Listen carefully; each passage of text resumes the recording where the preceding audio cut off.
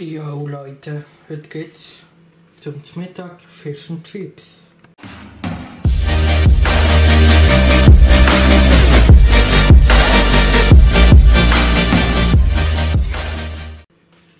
Und so haben wir hier einmal Pommes und zwei so Fischknuspuli.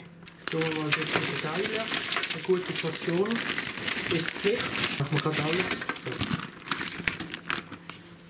So. Und dann noch Fisch.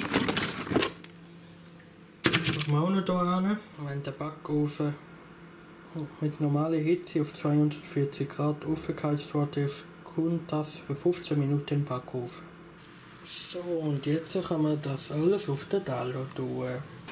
So, und jetzt noch ein bisschen Ketchup. So, und jetzt wünsche ich mir einen guten und vergesst nicht Like und abonnieren. Bis dann.